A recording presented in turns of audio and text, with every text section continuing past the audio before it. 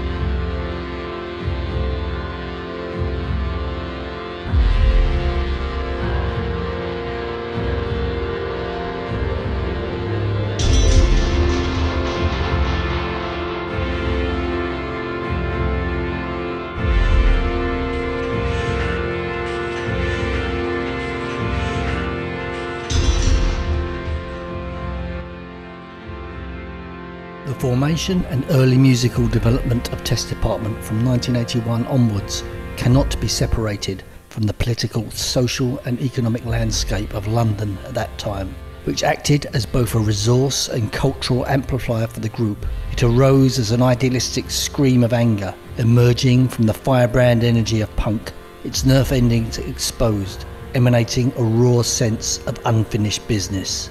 It was born out of the crumbling inner cities and economically decimated ghost towns of Britain, where the desolate, boarded up high streets resembled the array of riot shields that first appeared in South London during the Brixton riots in 1981, known locally as the Uprising.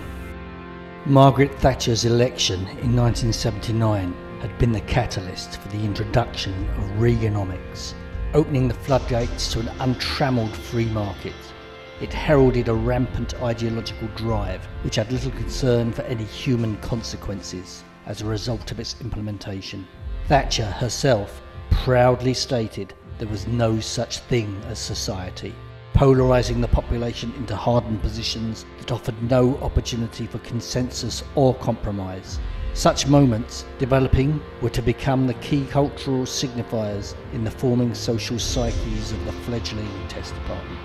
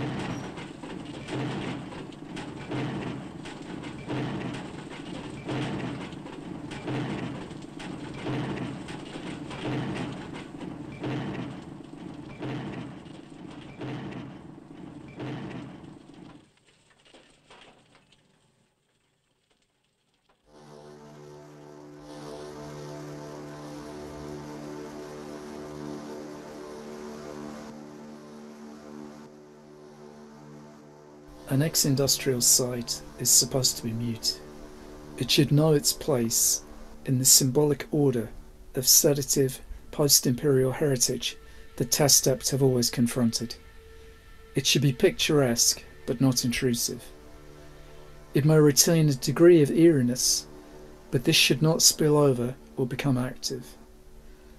One of the problems affecting much so-called hauntological culture is precisely its coziness even when applied to dark pasts. In short, too often, hauntology isn't haunting, or rather, is only safely and meekly haunting.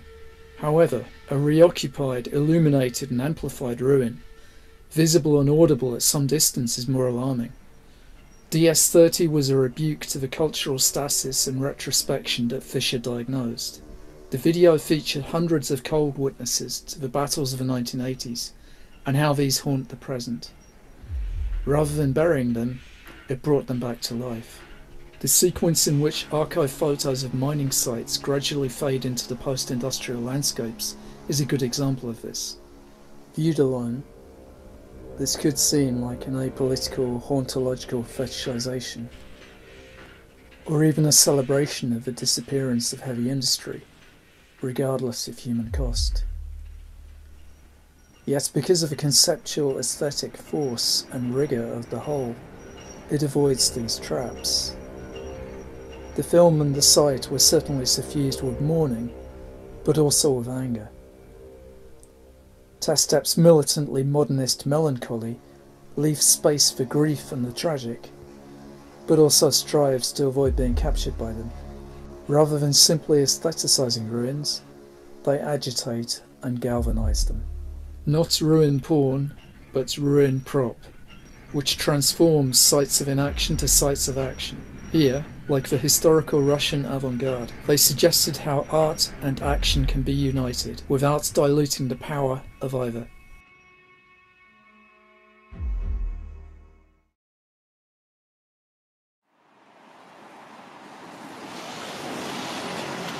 The proliferation of squats and thriving housing cooperatives in South London encouraged a disparate group of the socially disaffected and mostly unemployed to set up base in New Cross. Here they integrated with local students from Goldsmiths College, completing Test Dept's first membership. This enabled free access to multimedia resources and created a burgeoning support network and fan base. It was also here, at the edge of the decaying docklands along the Thames, that Test Dept first uncovered its creative inspiration. Their rough excavations tapped into a latent energy releasing an increasingly relentless sonic battery, which years later became the driving force behind the expansive multidisciplinary collective titled the Ministry of Power. The regenerators of Bust and Boom undertook pitiless gentrification programs on the edges of the industrial hinterlands, driving out established populations while grasping new fortunes into the bargain. Simultaneously, Test Dept as self-styled recyclers looked to sift and reconstruct the debris New sound possibilities were sculpted, creating a living instrument of change, a sonic war machine wired into the unrest of the times.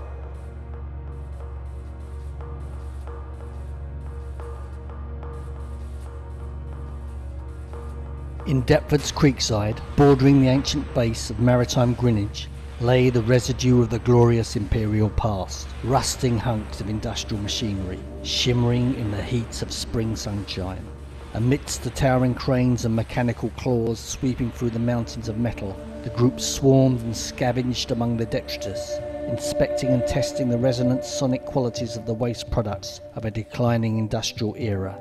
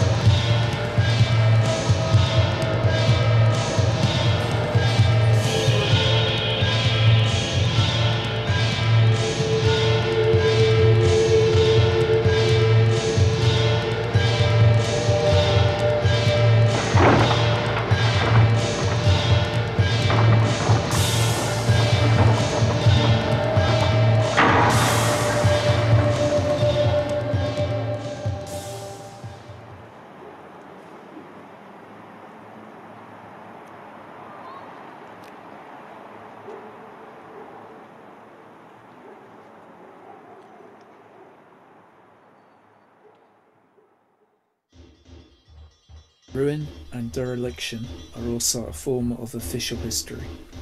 Allowing a site to rot is a slow motion form of historical erasure.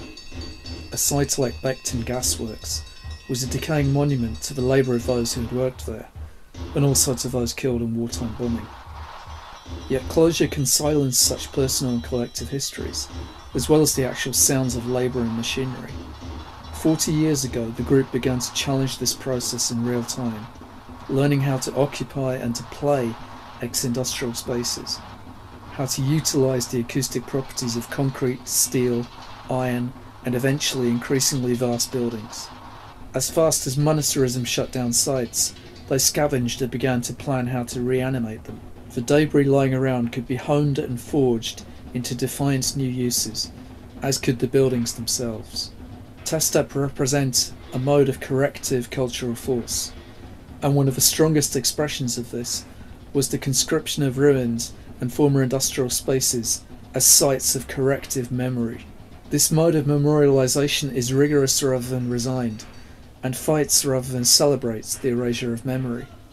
Their interventions in such spaces challenge the narratives that declare when a space and its workers are useful and useless. The temporary artistic reoccupation and reanimation of increasingly vast spaces, whether still used in a ruined state or scheduled for destruction, can spur audiences to remember not just the specific histories of a building, but its wider physical and sonic environment, enriching the space and the memory of the space. Forty years on, who will control the coming wave of ruins to be that the crisis will create? And who will make them resonate, and how?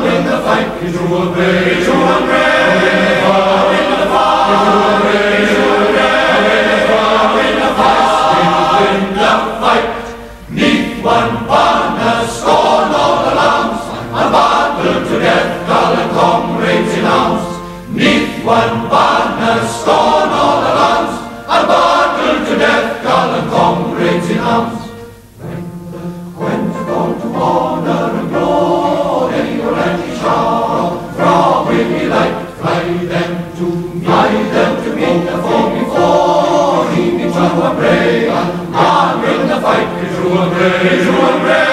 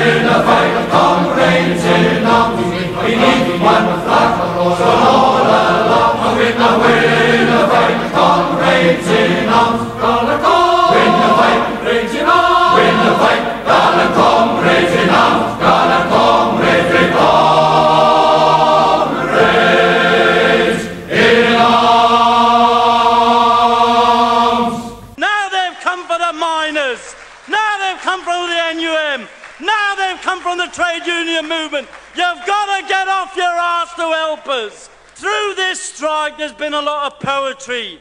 This is my one and only poem. Justice for the miners, down with the police state. Victory to the miners, victory to all working people in struggle throughout the world.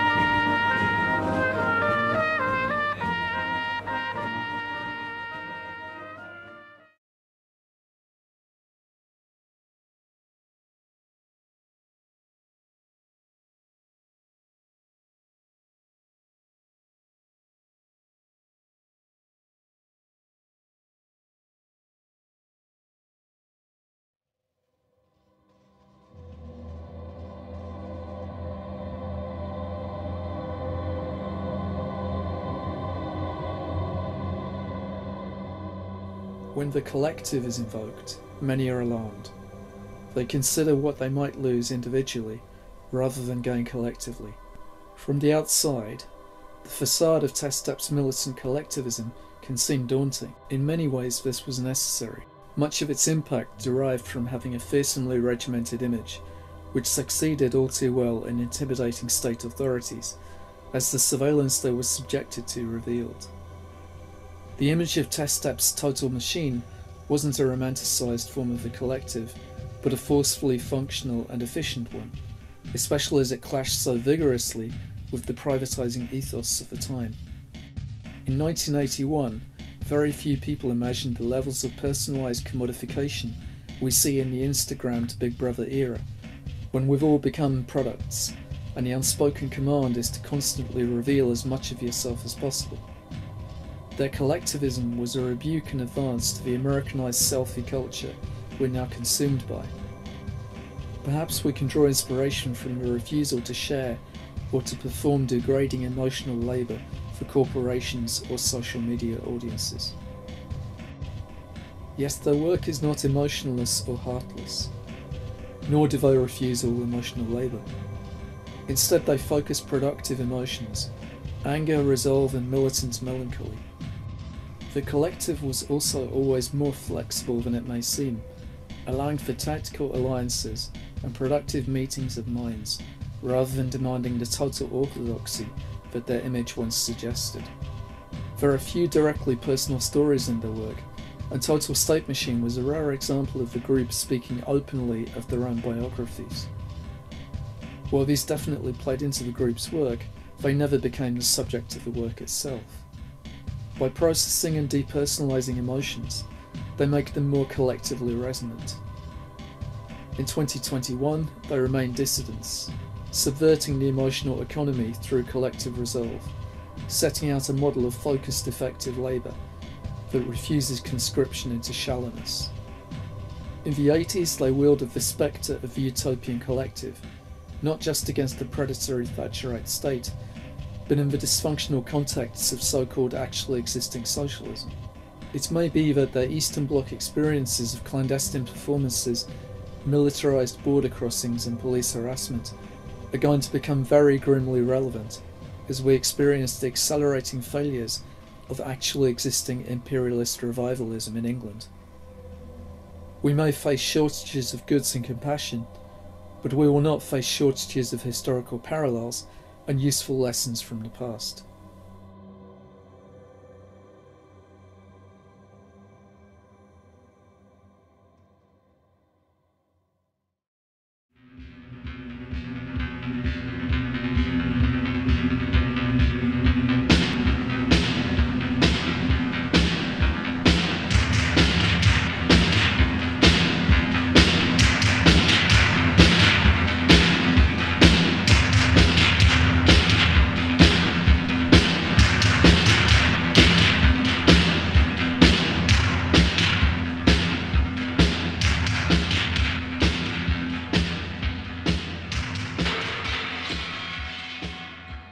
One of the ironies of the European Network Tour 1985, which went through East and West Europe, was that regardless of the colour of the local political system, there was exactly the same high level of police interest.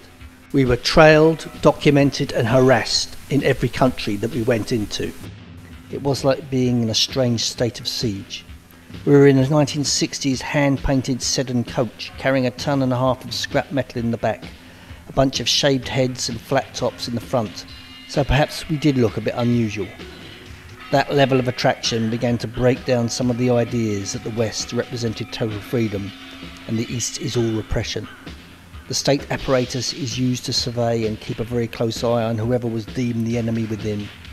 We didn't even attempt to play in East Germany, which was deeply repressive, and in Czechoslovakia the concert organisers could have easily ended up spending a couple of years in prison.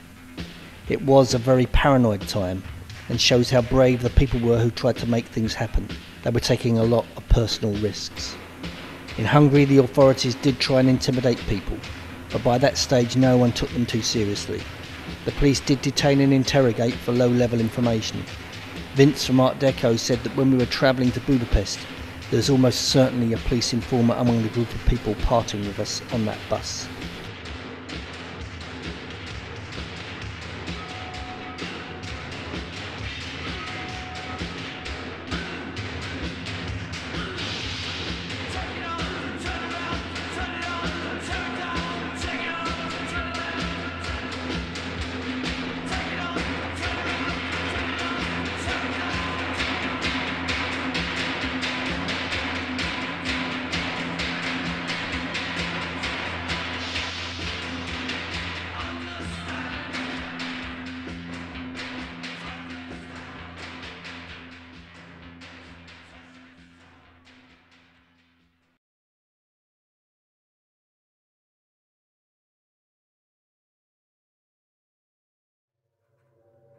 It's not only the materials or sounds of a location that can be useful and expressive.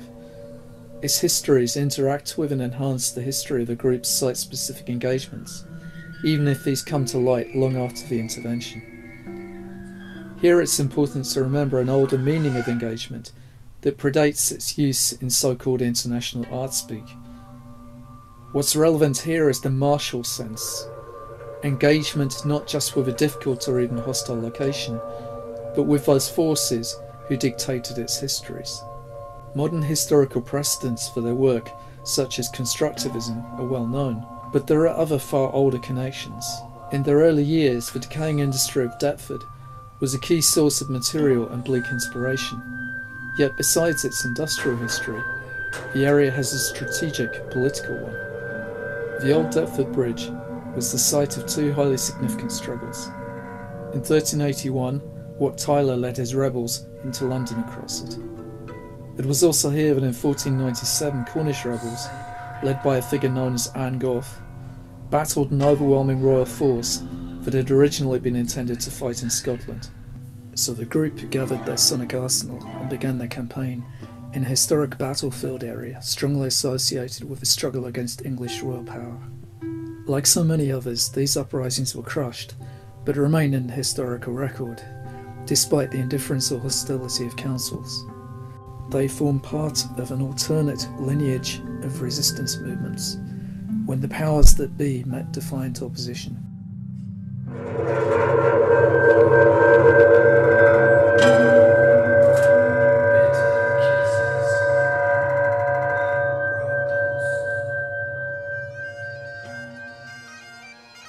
Finest hour at Expo 86 was a suicidal career move when it came to any hope of future arts funding.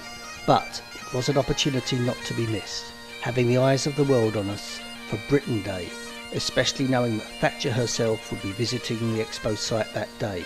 We had a scary phone call from the Central Office of Information in London just before travelling, warning us not to torpedo the old country now. On the plane to Vancouver, I sketched a stage set inspired by the poster for Battleship Potemkin. As if by fate, the local scrapyards were full of old ships.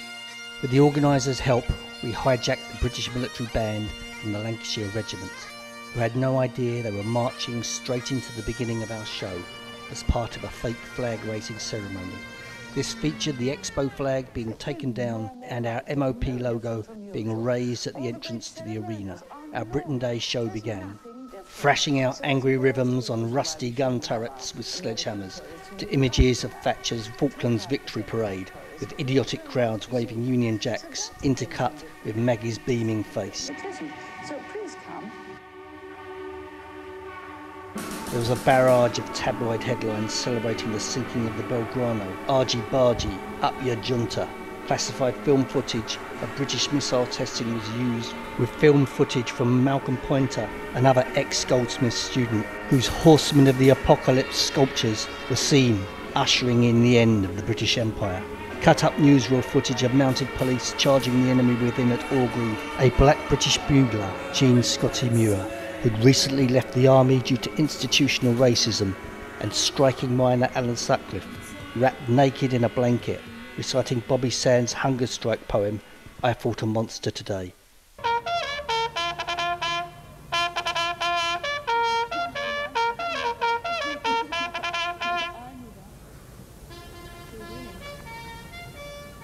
In the light of this history, and their 1987 cooperation with another defiant Celtic force, Brith Gof, appear as inheritors and protagonists of this lasting legacy. Gododdin was staged in the already doomed former Rover car factory outside Cardiff. The vast space was erased not long after the project temporarily resurrected it for a final battle. This symbolically connected two narratives the Thatcherite state was keen to downplay or erase the Celtic and the industrial. Their powerful mode of transgressive weaponized monumentalism tried to compete with and even to overshadow actual state and corporate rituals. From the mid 80s, they increasingly worked with orchestral and choral elements, augmenting their sonic power, and just as their work was orchestrated, they orchestrated the sites that they occupied.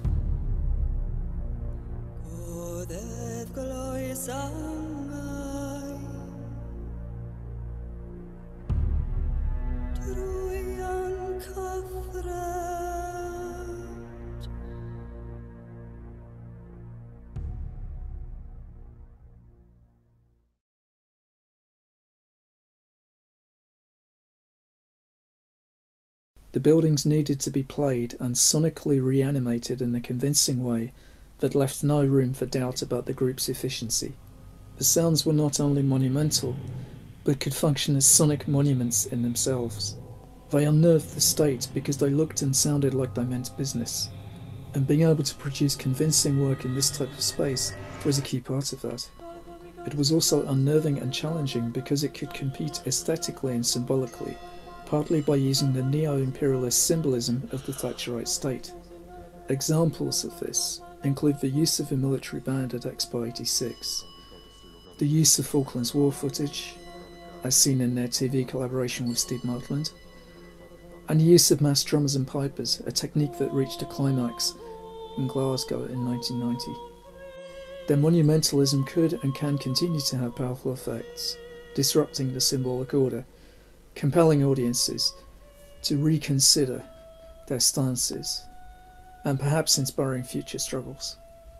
Perhaps it is possible to accept that monumentalism from below, while not a virtue in itself, can definitely have virtuous effects.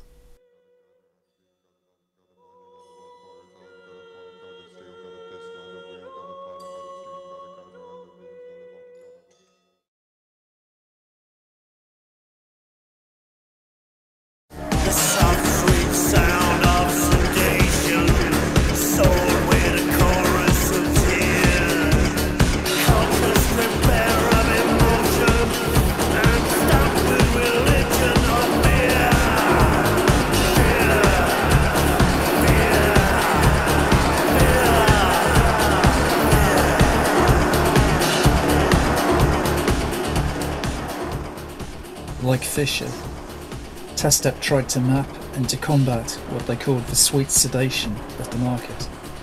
Now, in an era of industrial scale, algorithmic self sedation, the repressed demand for means to cast off sedation continues to seep through cultural and media filtering systems.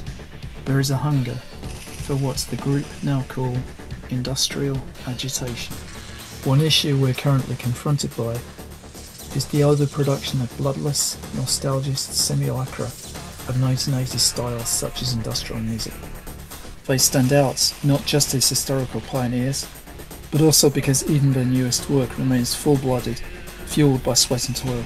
This trace of the real makes it stand out, but, just as in the 80s, also guarantees that it will be partly overlooked.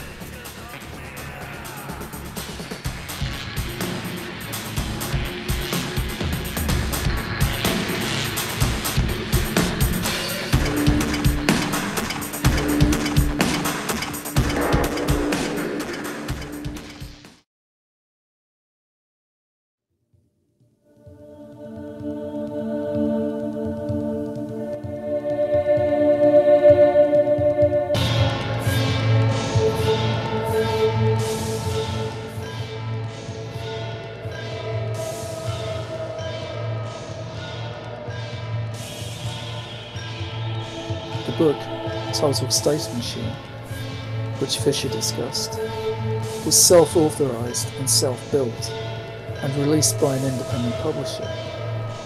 It didn't go through the usual channels, and even if it had been allowed through, could not have done so without some degree of tempering or decontamination to make it more palatable. Yet the price of refusing to make the usual compromises can be isolation.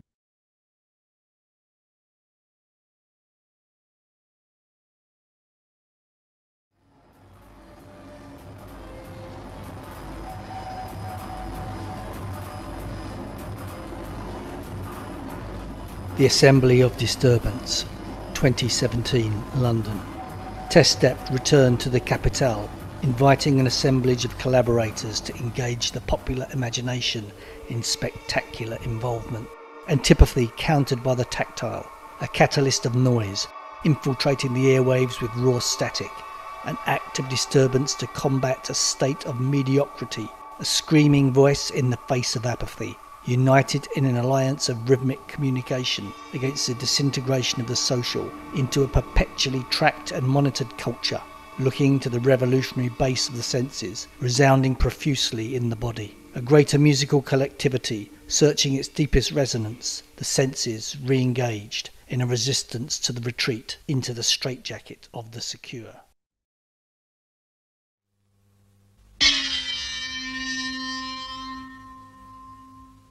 Following their Expo 86 action, which no British publication ever reported on, and which I wasn't aware of until I began work on the book, the group noticed that British coverage of them dried up for some time. The situation now isn't radically different. What limited coverage their activities have received has been in a narrow range of alternative outlets such as Fact or The Quietus, and one isolated appearance on Radio 3. Beyond the existence of the book, which was scarcely reviewed, they remain peripheral and beyond the confines of music and subcultural history, and not really canonical. Besides the collaboration with AV Festival in Gateshead, their only other artistic presence in recent years was in a Leipzig exhibition space run by former East German underground activists. They remain largely beyond the pale of the wider art establishment, even those parts of it that claim to be supporters of radical causes. A statement of Fisher's gives some clues as to why this might be. In 2016, he lamented, There's almost a deliberate removal of effect in many pieces of contemporary art now. What makes it art is that you don't feel anything in relation to it. We're encouraged to feel that we're Neanderthals if we still think that art should create feelings and effects, that it should have aesthetic texture, content, etc. That's not sophisticated. Lots of tendencies in the contemporary art world are exactly against those things. But I'm happy to be Neanderthal if that's the case. This artistic holding back operates in negative synergy with the exhaustion of the future that Fisher diagnosed, along with its associated depressive, inhibiting effects. Given the state of things, depressive nihilism and fatalism are tempting options for many. Knowledge of the apparent exhaustion of the future can itself be exhausting. In these conditions, the lure of romantic decline and affecting nostalgia can be very seductive. Yet rather than fetishizing it, should we perhaps try to work through the exhaustion, as the group once did for hour after hour in a Dickensian New Cross basement?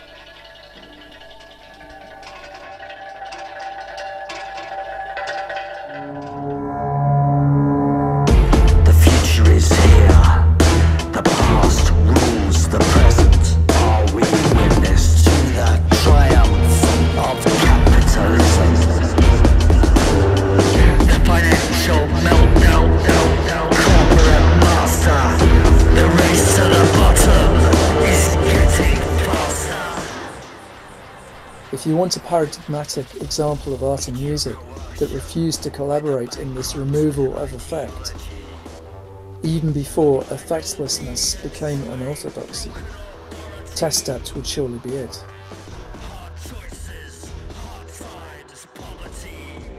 Soundman Jack Balkin remembers how seeing in action, quote, broke through a depressed core in me. This is an example of the galvanizing effects produced by working through the exhaustion. Perhaps hope needs to be worked for and at, to be produced and reproduced by constant rehearsal, repetition, and exercise, mental as well as physical, or through metaphorical or literal drilling. Could this be one way to reforge or regalvanize new futures? Even when the concept of utopia has been extensively privatized and trivialized? The shockwaves of post imperial collapse, which both Fisher and Test Dept anticipated, are finally reaching the archaic Westminster structure, and the survival of the current state order is openly questioned. Besides a proliferation of ruins, we'll face a proliferation of debris of all sorts.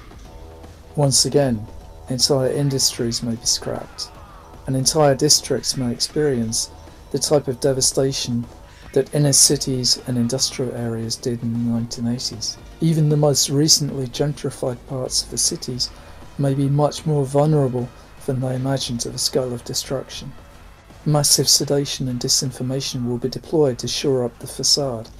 But how well can these work when rather than slow, insidious cancellation of the future that Fisher described, individuals are faced with the brutal, overnight cancellation of their futures? There may be no alternative but to forage amidst the literal and metaphorical wreckage, gathering scrap, testing it out, and seeing how it can be made to resonate and to agitate. 21st century fuel to fight may yet be found amongst the falling masonry and toxic waste of actually existing British democracy.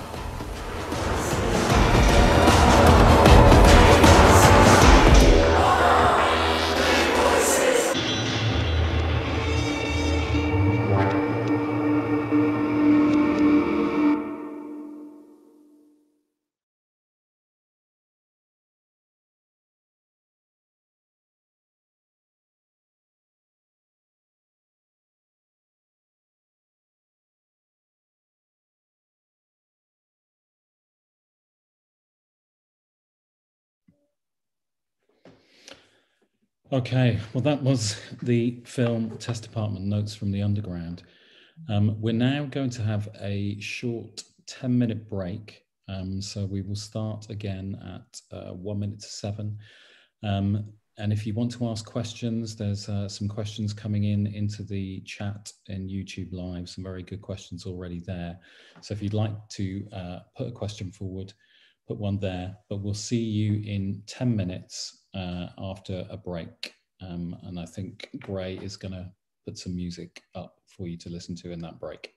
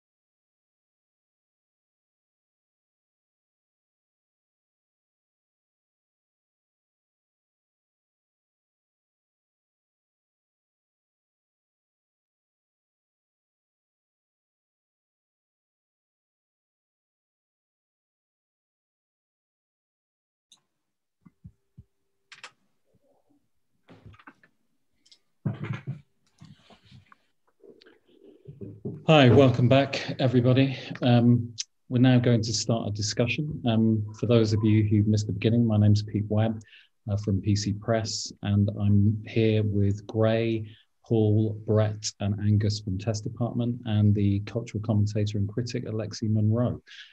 Um, if you have got a question you want to ask at any point, then there is the chat function on YouTube Live, and if you can put your question in there, we will get to those towards the end of the discussion. Okay, I'd like to just start really with with the, I suppose, you know, part of the reason we're here tonight, which is Mark Fisher. Um, and Mark Fisher was one of the few people to review the book Total State Machine. He he did a review of the DS30 show that you put on in the early 2010s. Um, do you want to say something about the the kind of impact of Mark Fisher's work and the impact of meeting him uh, on you and and your work? Um, well, Mark, yeah, came to review the DS30 show.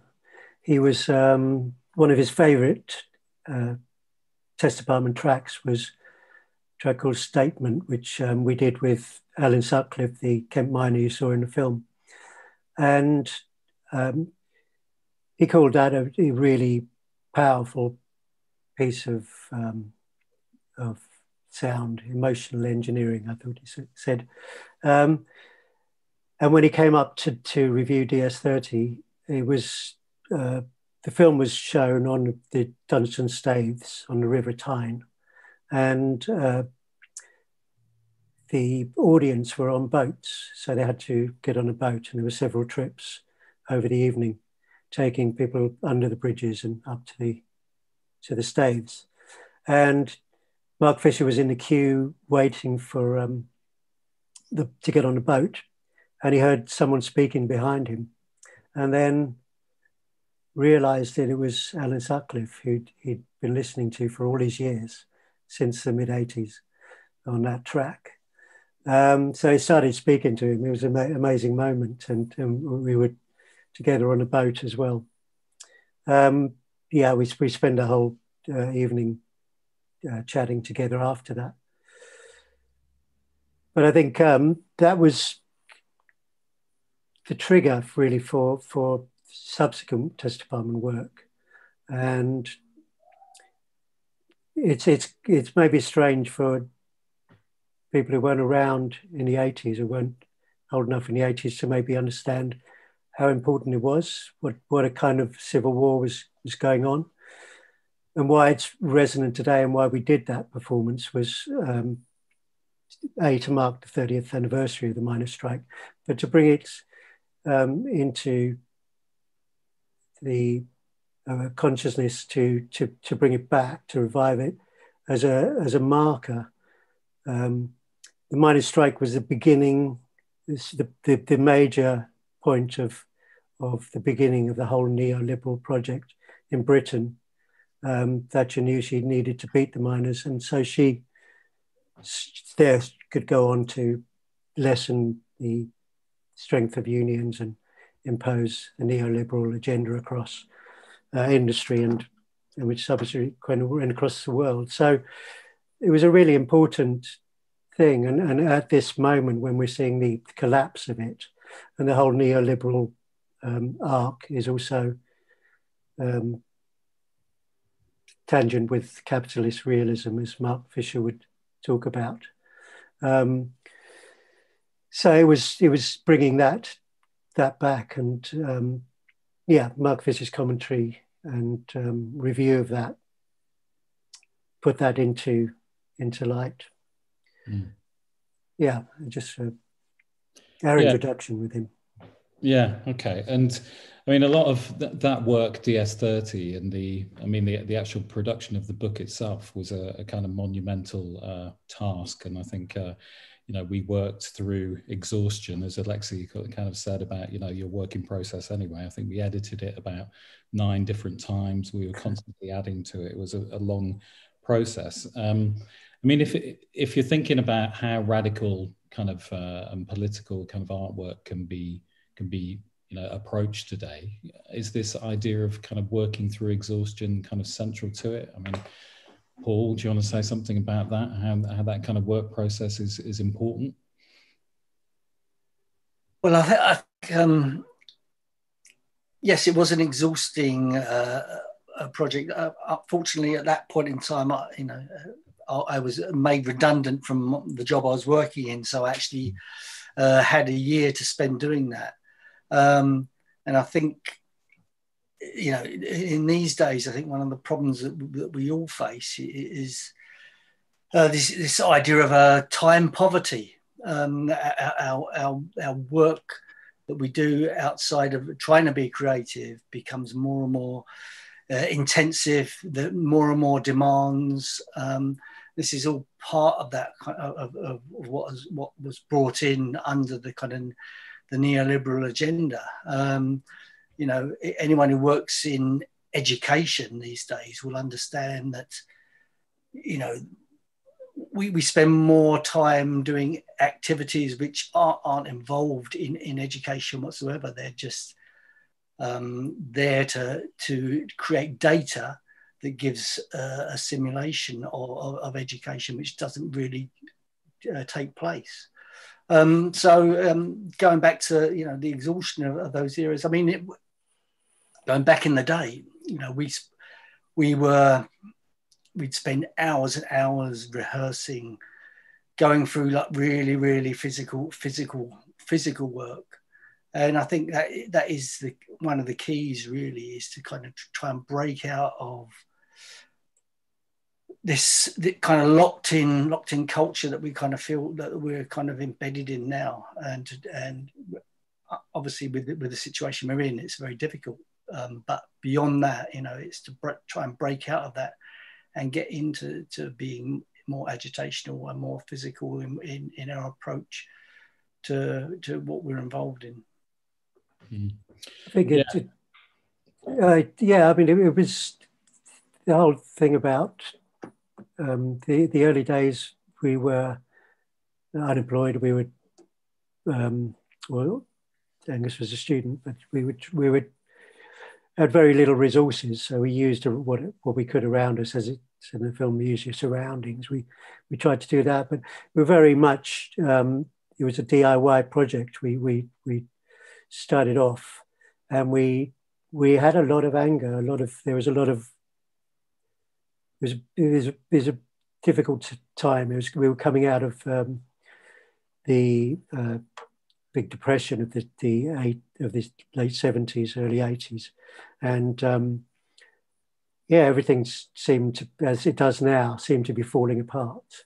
Um, so we created our own world, our own reality in, in that. And, and as a collective, it was, it was uh, we, we found like-minded people and, and it enabled us to, to, to do that. And we also could then support each other in that. So it was it was a driving through um, the, the the work in that basement to get fit and to work on these rhythms and all sorts of uh, things and the ideas. And we, we would just, yeah, we used it as an exorcism in a way. Mm.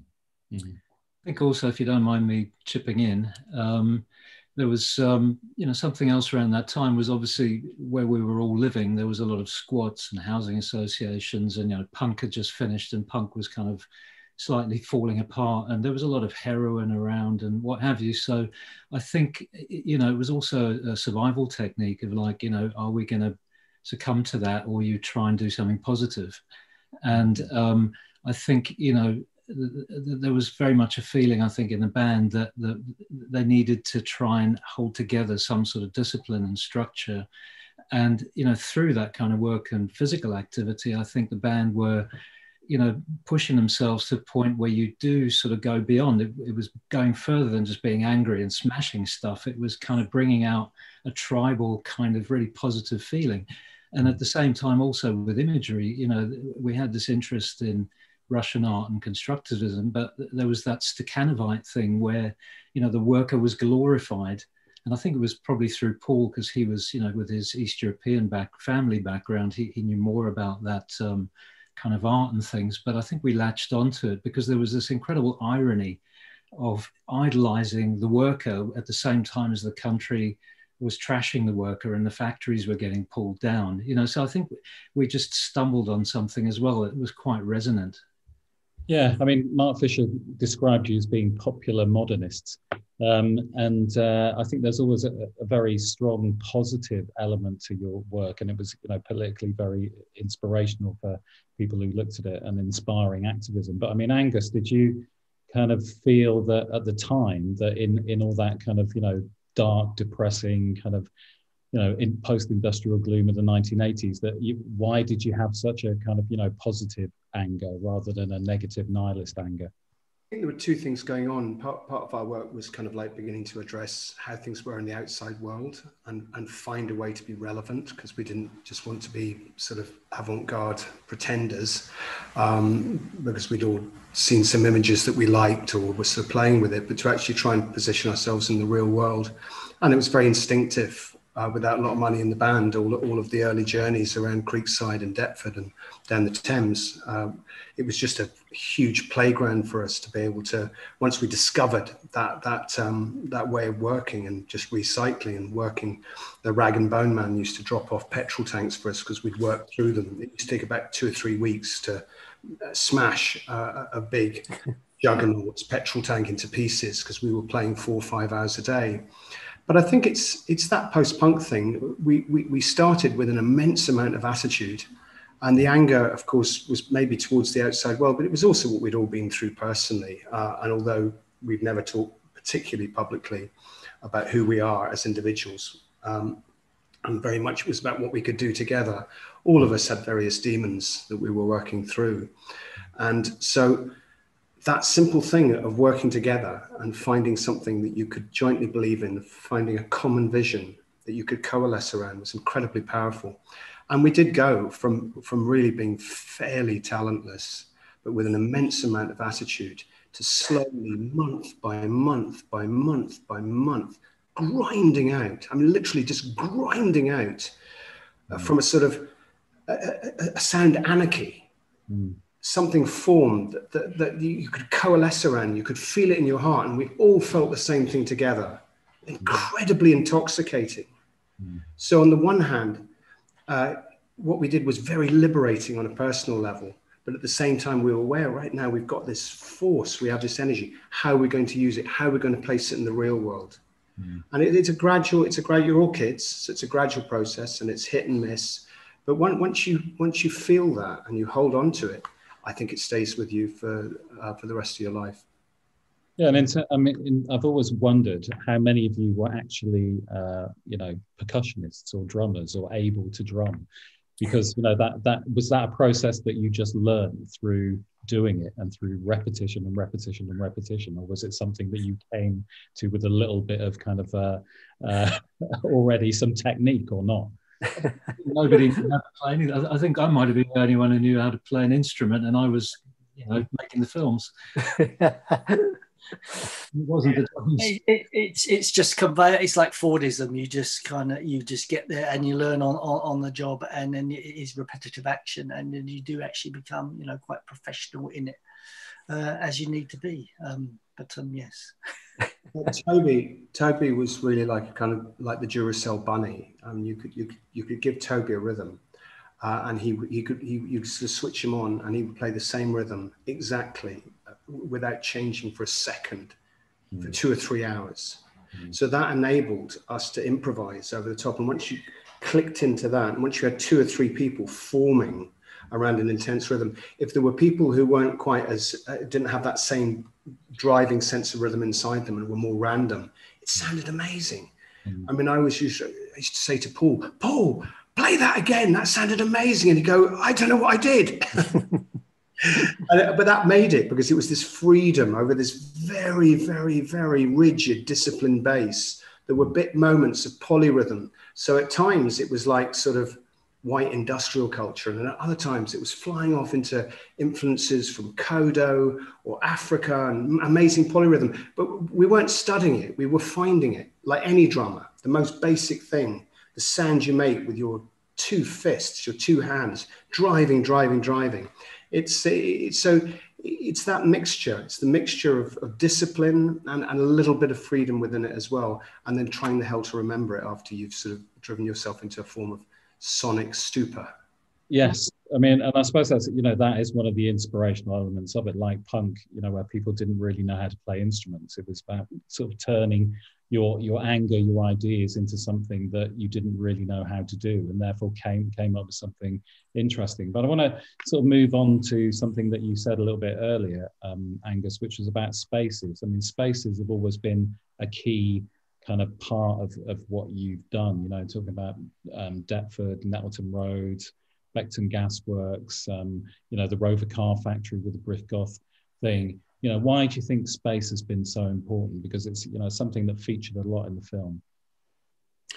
Yeah, I mean, Brett, Brett always said it from the beginning. Is that is that you, you found places that had been abandoned and and they were they were sort of beyond, and and uh, you know they they retrospectively they got described as liminal or you know there's lots of terms for what these spaces were, but for us it was of course they have an incredible physical effect on you and that transgressive quality of breaking in somewhere or finding somewhere that's that, that's that, that's not what it was and it's not become something else and i mean there was real there was real poverty down the Thames at that time. You know, as, as, we saw in the film, there was no gentrification. So these places were often left for years. And, and I mean, you know, we really, we really, really spent a long time in those places, and we found things, we found stories. The name, the name test department, it was test department number six when it started, was, was written on a bucket that Graham found in, in a sort of abandoned office around the corner. We never, we don't know what the test department was. We never did. We never found out. Still trying to find out. it's, um, it's, it's, it's that sense of, of a place that you can go and you could make your own. And so that, that sense that because we had little money, mm. Um, we were sassy, we had a lot of attitude, but we had little money that we you could take these places and you could make them your own. And it was this massive, it felt massively important. And and and this this, you know, we know that there were a few bands in the late seventies, um, early eighties who, who, were taking the, the, same attitude: is find somewhere and make it your own, make your own statement, make your own world, and you could do that because you could do it really cheaply. You could do it under the radar and this amazing sort of like informal networks and people would come and they would coalesce. All of our early work was in these, uh, a network of railway arches uh, and we did quite a few kind of legal or semi-illegal uh, concerts where people would just coalesce at a certain time where it would go out and we'd be playing in these dusty, uh, dusty old places, but they were ours. We could make them. We could really make our own world within it. Yeah. I think that that was that's what we we we created, um, and from the beginning, it, it, was an organic process. We created this kind of DIY collective because we started doing it. We were outside the system. We felt outside the system. We felt excluded, and we started this work, and and it just grew and grew and grew gradually. Um, when we had to do, when we finally came to do concert, we organised our first concert in a in a hall in Lewisham. Um, and when it went on from there into these industrial spaces where we would put on concerts, we didn't play in any venues um, in the first few years, and it's that's gone through throughout. Um, that went throughout our whole um, career, really through the nineties. But um, uh, well, we sometimes obviously played in, but um, in, in, the beginning we didn't. We created our own spaces. We, we and that is where that as Alexei talked about, how monumentalism grew out of mm. actually starting from the smallest little railway arch into these bigger and bigger spaces. I mean, we were lucky. So it was, it is about the time and about using your surroundings. And obviously, um, those, those in, industrial, post-industrial spaces don't exist anymore. Mm. Um, I know. there's, there's quite likely to be a lot of uh, other other empty spaces soon with um, people moving out of offices and home working and stuff. We, yeah. We'll see. It's a whole different thing. I, I see that Grilled Cheeseman has uh, asked that question really on the chat about um, has the continued use of these industrial post-industrial spaces for massive suburban building project affect the ideas discussed of reclamation. How Mm. can we claim these post-industrial spaces when they've been paved over? Mm. Um, I think yeah, a lot of the post-industrial spaces have been reclaimed, but you know, as we were saying, I think there's a lot. What is going on now? Um, you know, there is so much construction going on. We're wondering what the construction's about, and we're looking at, at you know where that how how we're going to sit in in a year's time. They're building office spaces, and offices are now deciding you know they don't want to, they don't want office space. People can work from home. They can they can be more uh, e- you know, economically um, productive by by letting people spend less time in office. I mean, minimal office space, and that's one example. So we're going to have all these spaces that are going to be, you know, they're going to be up for grabs. I think, um, obviously, with the collapse of the high street, there's going to be a lot of spaces there. So I think. It, it, it's not the post-industrial spaces we're looking at now, but the post-COVID spaces where there's going to be possibilities you know how how how we work that i don't know at this point in time but but it's that's certainly the, the, where we where we have to start looking at this point I suppose it's, al- it's also interesting that back then, um, as Angus said, these these buildings were left for years, literally years. Um, when we squatted the old synagogue, it had been an em- empty for 20 years or something, hadn't it? So uh, this, this uh, property didn't have the value it has now. And obviously um, now property up until COVID was the thing. Property was everything and you were, you, you'd be out straight away. But yeah, um, post COVID, we're, we're looking at a new world and it'll be interesting to see how that progresses. Yeah, right. did you want to say something? Yeah. Um, I'd quite like to add something to that. Is I don't think it's just about the nature of the physical spaces because obviously we lived in a particular time when, you know, there was all this sort of um, empty Victorian warehousing and things like that. You know, it wasn't just what we were doing. There were artists who had loft studios, and you know, it was a whole different time. Um, but I think what came out of that is when we did some um, quite odd choices of performance, like the Cannon Street gig that we did um, in in the city of London.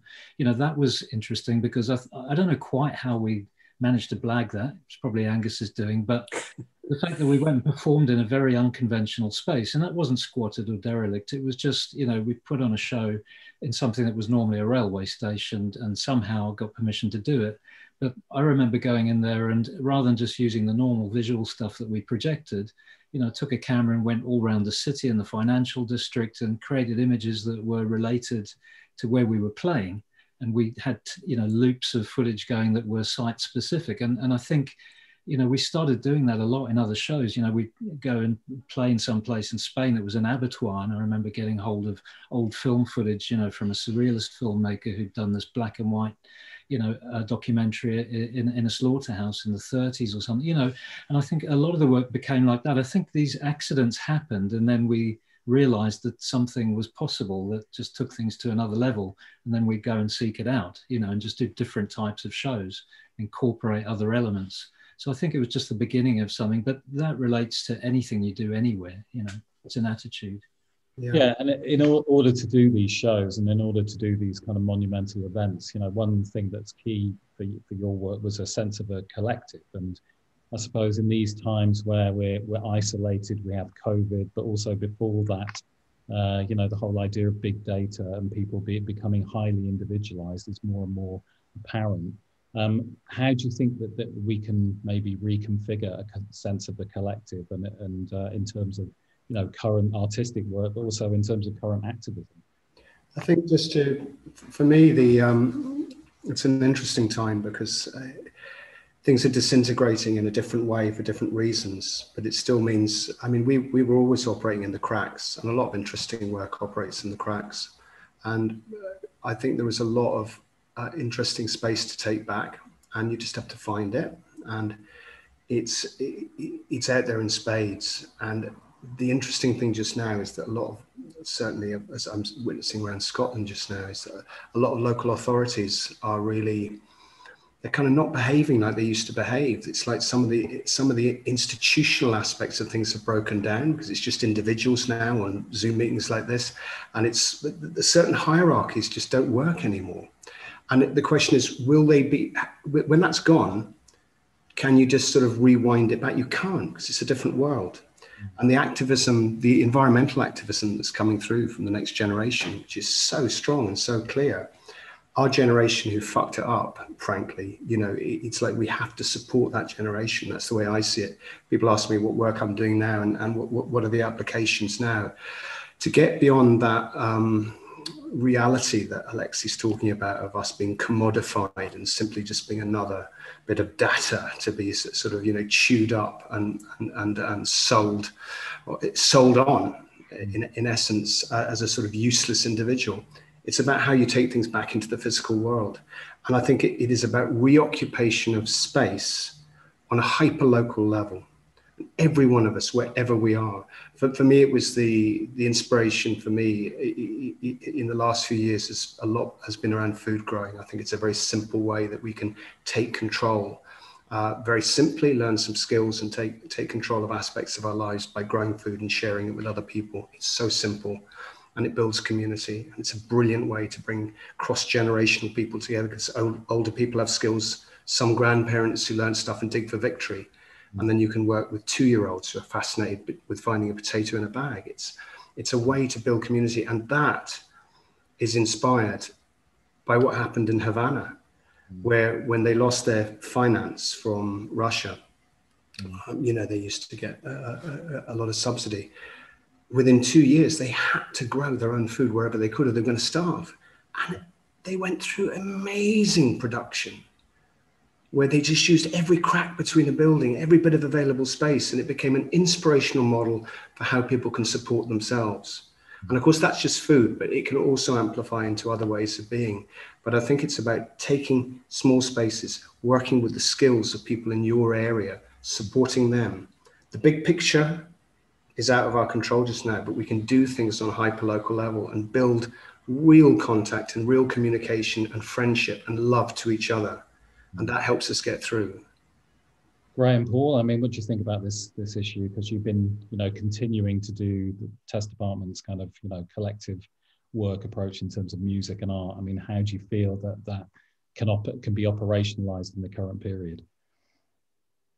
Um, well, from, the development, I mean, the collective of test department, which expanded um, according to to the work we did. We did a lot of. Uh, um, we, we, we, we worked with the community with the community in a lot of different situations, and then obviously when we were uh, talking about working with um, campaigns or struggles, then we always tried to work with people from those campaigns and struggles.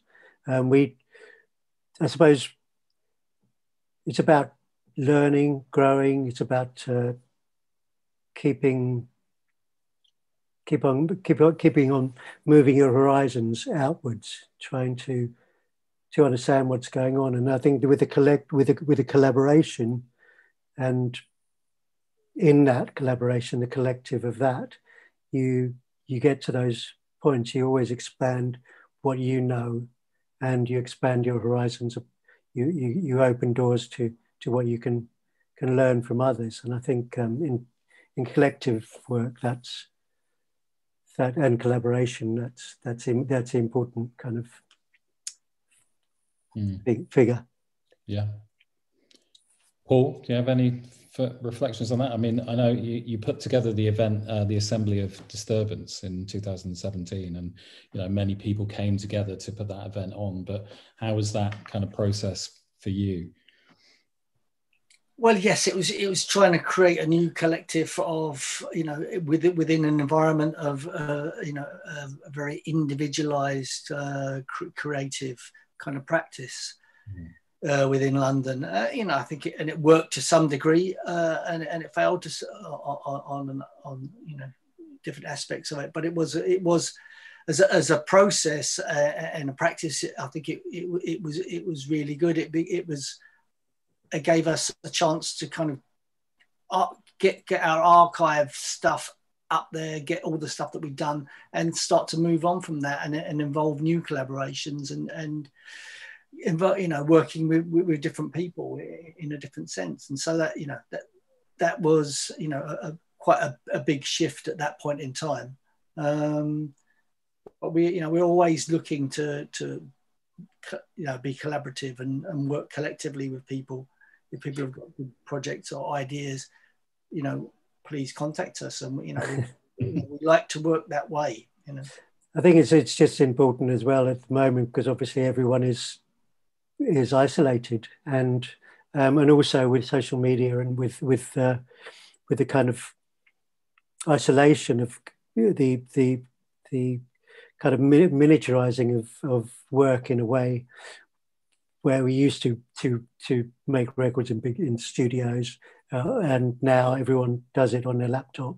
Or um, work is is put down to to a laptop and a, and, a, and, and now basically a laptop and a, and a camera, and communication is that. So I think in in this time it's about work. How do we how do you make those connections? How do you expand them, and how do you work work mm. on on them? Mm and how adaptable can you be? I suppose I was. I've just been working in Vienna on, on a on a dance project with uh, dancers and choreographers and filmmakers, and we managed that. We were originally going to do a live performance. While I was there, it was cancelled, and then we had to change everything, and it became a um, an online show. But we still tried to to do that differently to big, build it up into a um, into a, a, something something different.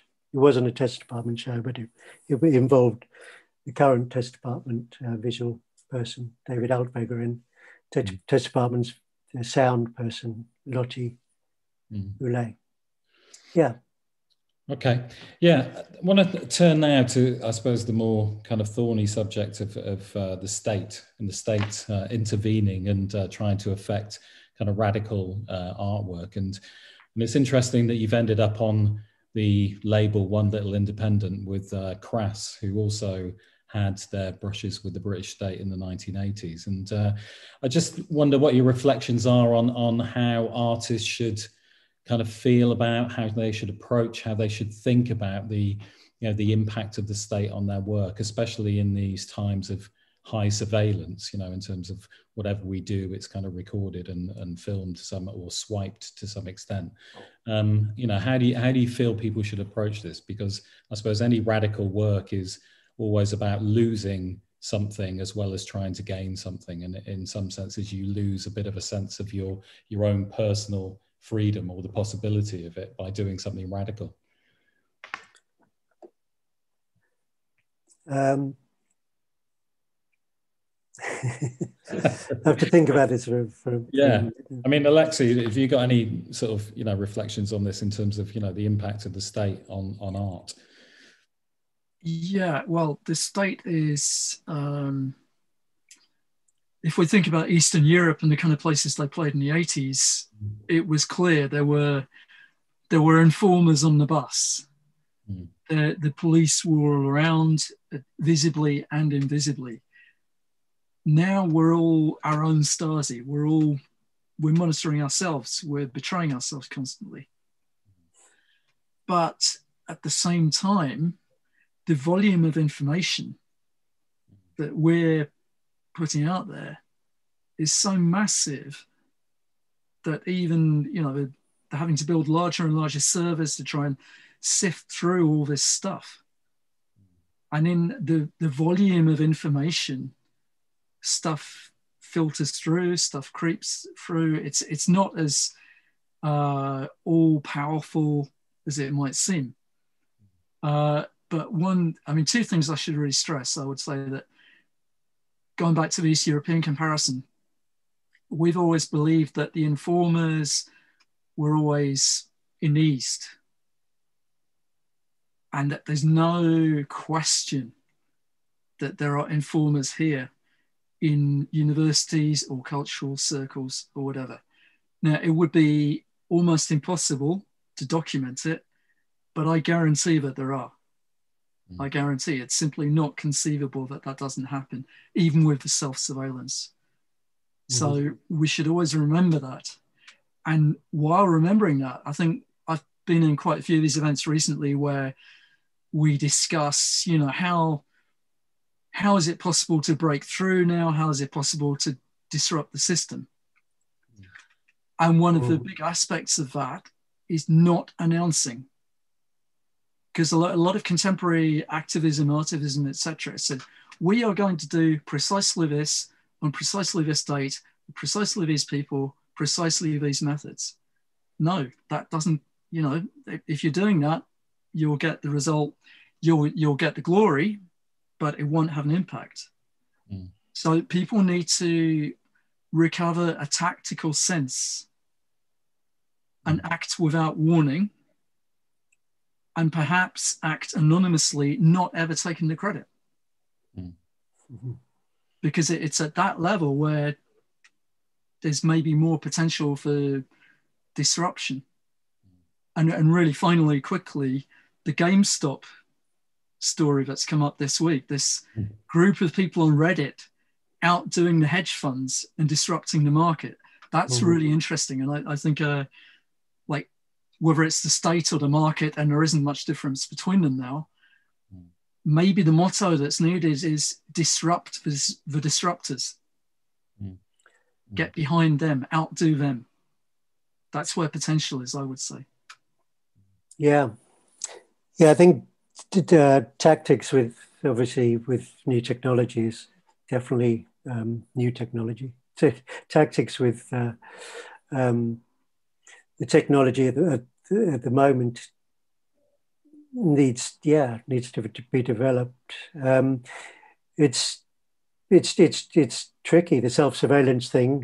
When we were doing things back in the 80s and 90s and tracked by the state or various states. Um, obviously, they didn't have that level of surveillance. They were, they were filming uh, from rooftops and demonstrations. Um, they had people marked down, but um, and they knew what we were doing for sure. And as as demonstrated in the phone call mm. um, we got before Expo, and um, phone tappings, which we had during which we um, had during the miners' strike, where we heard uh, messages being played back to us from a, a phone call. Um, so, so that that was going on, but now everyone's it's it's it's all out there. Um, we have our phones and we have our obviously there's there's ways of, of covering up some of uh, your communications or encrypting it or whatever. But uh, yeah, that I think it's it's interesting the the, the change and how um, we look at that with with art. I don't know, you know, it, it's it's interesting with the capitalist realism mm. idea with, with it. We're, we're, a commodity, so the idea, as Mark Fisher talked about, is you everything is consumable. So mm. even the dissidence that we um, portray and put forward is is becomes in the cap- capitalist market something to sell. Um, so how do you get a, around that? It's, it's, it's very tricky. I mean, um, as you say, we have a we have a record we have a record uh, deal with one little independent, and you know, it's in there. We're selling records. We're in the market. Mm. Um, yeah, I don't, I don't have the answer for this, but it's it's it's it's something that we didn't really. We, we could um, probably get further along the line outside the system than you can these days, or you have to use look for for um, um, well, other means anyway. Yeah, and I suppose it takes a lot of a certain type of motivation to continue to be peripheral because your your work is is radical. Um, and continuing that over 35, 40 years is quite a uh, feat. So uh, I think uh, we should say hats off to all of you for for doing that. Um, for surviving. Yeah, for surviving. yeah, that's what it's yeah. all about now. Fucking survive. listen, um, uh, Pete, take us into some of the questions because there's been a lot of stuff in yeah. the. I've tried to answer a few directly, but I feel we're not we're not we're, we're rambling shamelessly in the way that we often yeah and that you should take us into some direct, hard questioning by this very patient audience. Alexei, do you want to come Yeah, so um, the question. first question is pretty hard.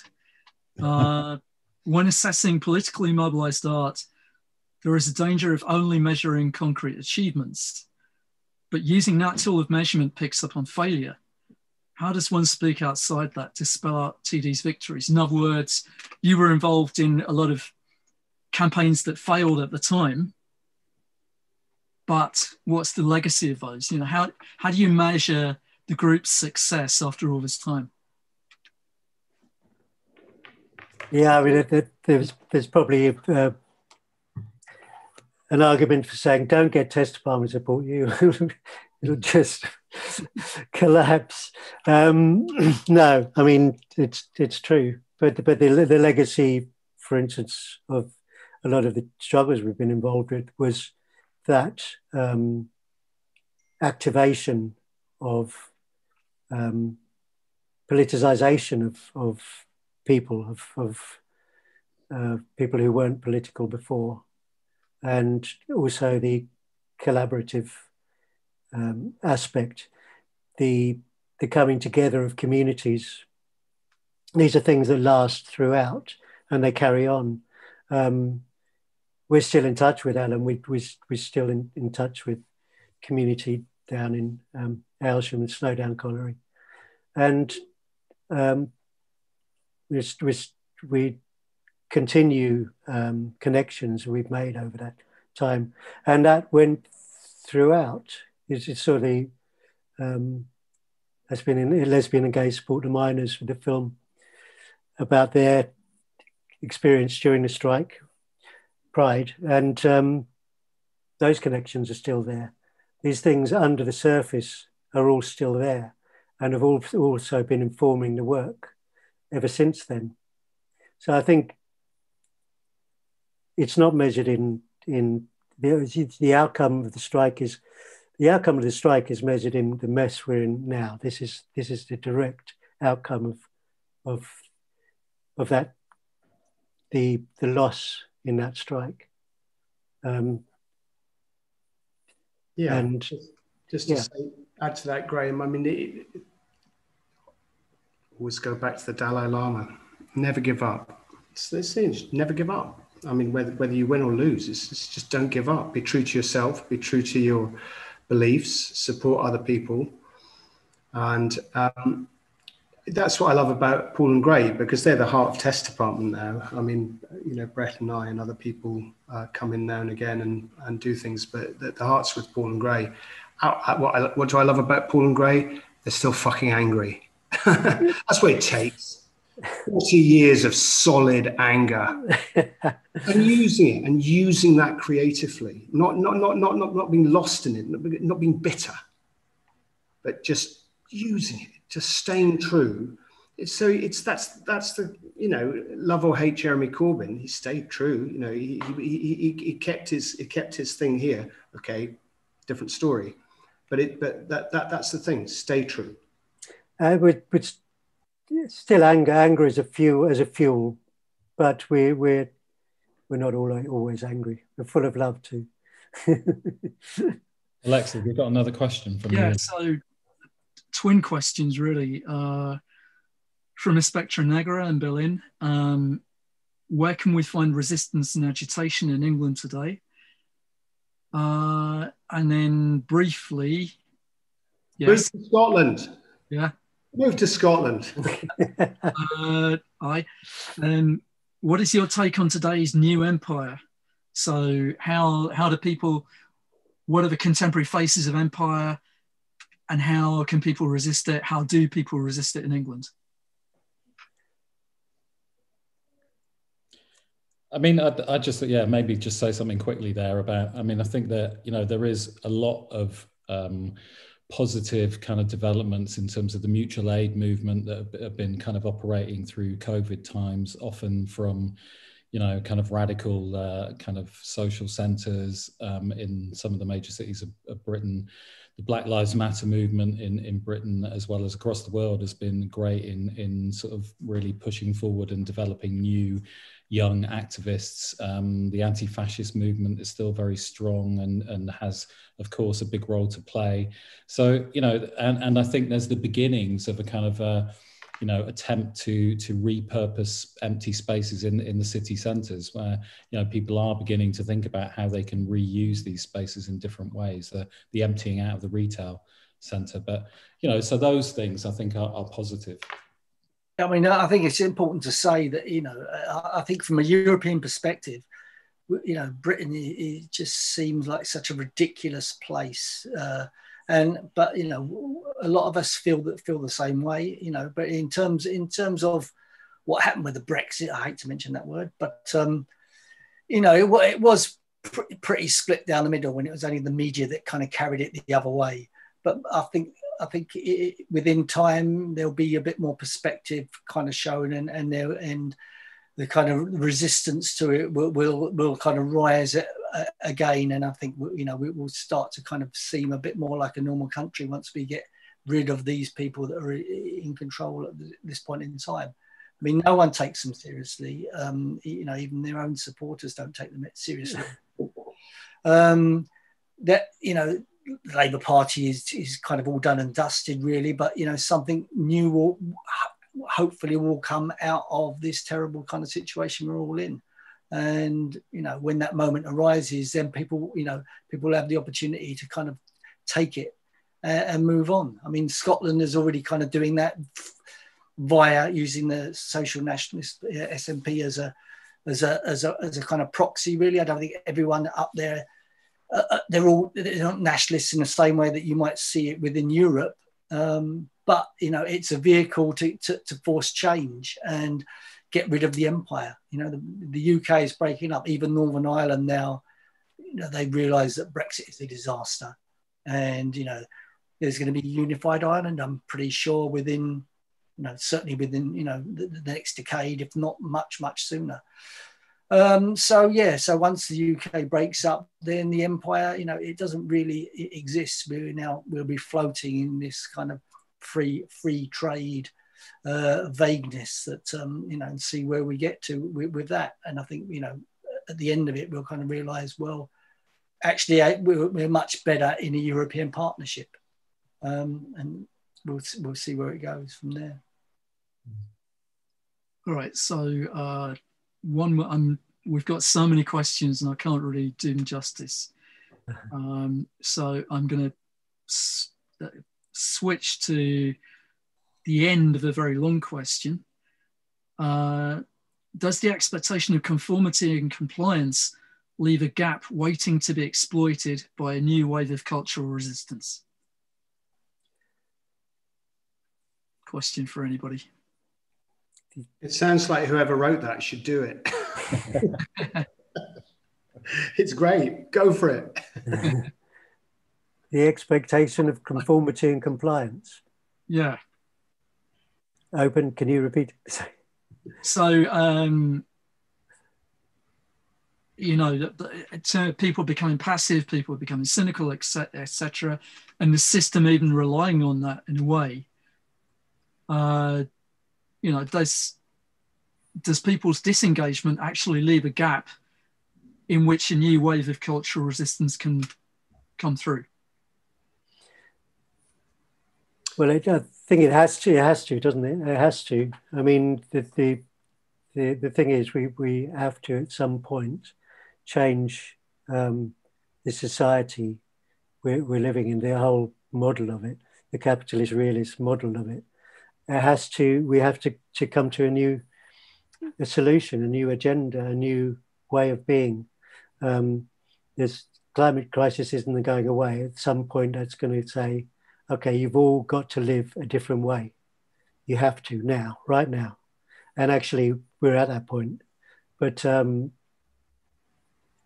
people aren't animated, so the conformity is going along with the system we have. We we have to change it, um, and when that realization bubbles up to enough people or or, or comes through. I mean, I think it's already being talked about in in artistic ways, um, and of course in communal ways, like as, as you mentioned, the DIY um, communities and, and social centres and, and things that are, are happening. Um, but a, lot of people, of course, realise that, uh, that we're not just going along with it. We're not not just we're not conforming. Um, and have some there has to be something new. Can I say? Um, I think I think um, it's it's a kind of very Mark Fisher type question. If you don't mind, I just I was made a couple of notes earlier, and I think this is kind of relevant to that question. Um, Mark stated, um, capitalism sucks up culture, sucks up history, turns the very things that made us human into museum pieces. Everything is objectified and it's commodified. We have replaced human engagement in life, in life, culture, and politics. We retroactively learn what it is to be human. We retroactively examine truth rather than engage in activities that make it so. And I think that's kind of really, really kind of vital. It's just like, yes, we have to start re-engaging after the after the COVID is over. It's like put down your fucking phones, stop, stop staring at screens, and get active. Start doing stuff. Start engaging with people. Start creating. Make your own collectives build things, you know, on a personal level, get interested in, in different stuff.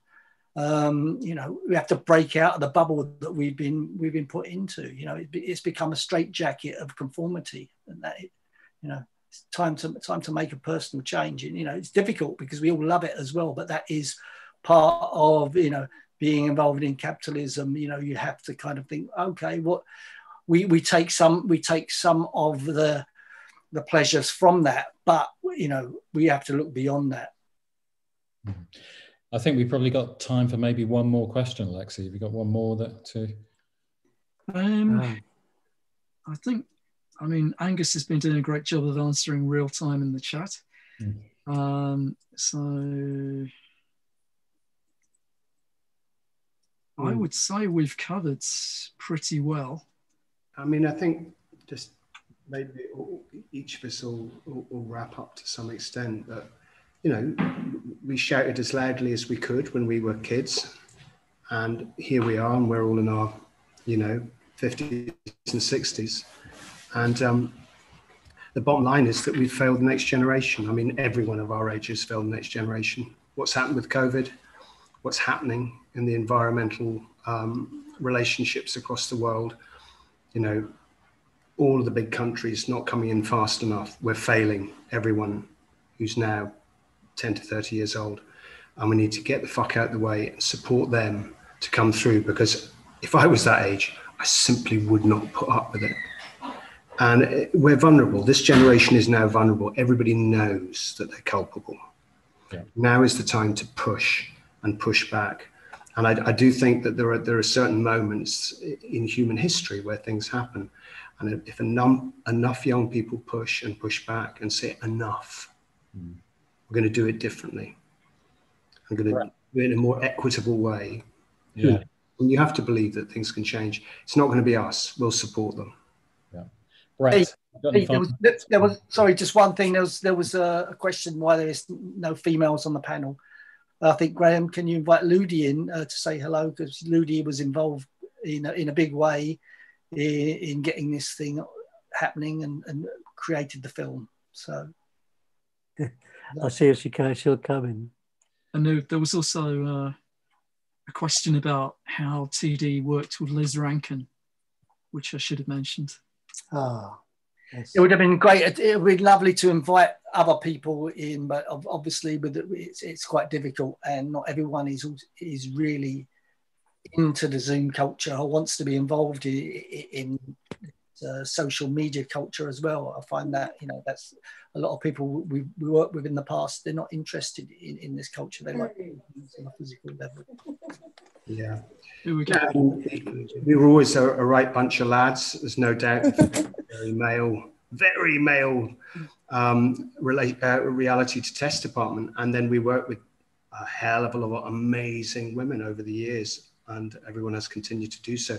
Liz Rankin I first saw Liz Rankin when she was um, goose stepping around um, the uh, refectory in Goldsmiths College in about 1979, 1980, uh, with uh, a rubber glove on one foot and, and an open Doc Marten ripped to bits on the other, wearing these amazing bits of string, like she would wear clothes with bricks, where the bricks had been cut out, all stitched by her mum, who's this amazing uh, woman from the north of England who could just make these amazing bits of clothes that Liz, six foot three, wild red hair, a complete Amazonian force of nature. Mm. And she was that was her doing a performance. And then they tried to kick her out of Laban. And I went in and screamed at the uh, staff at Laban that you wouldn't know talent if it hit you in the fucking face. Liz is the best thing that this college has produced in the last 10 years. And it was. And she was brilliant. She went on to dance with DV8 with Lloyd Newson and has gone on since to work with Shared Experience and do lots of shows with the uh, Royal Shakespeare Company. She's an amazing choreographer and has remained very true to herself.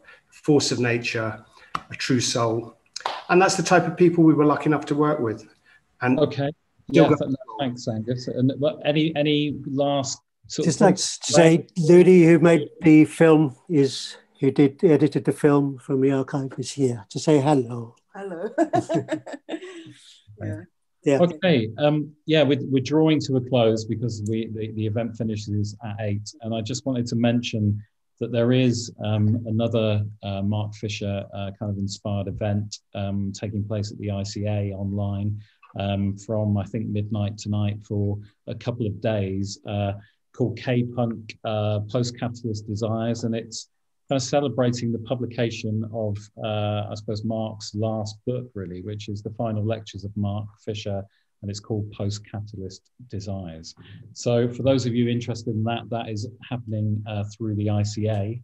Um, and I suppose it it's, uh, you know comes to us to to draw this to a conclusion and say, you know, thank you so much for taking part in this. You know, we were really kind of overwhelmed with how many people uh, signed up for this event, and, and it's great to see you know people interested in this uh, in this project and also in the continuing kind of ideas of, of groups like Test Department and Mark Fisher. So thanks very much everybody for, for participating. Thank you everybody. Cheers. Thanks everyone. Thank you. Yeah. yeah. Nice one.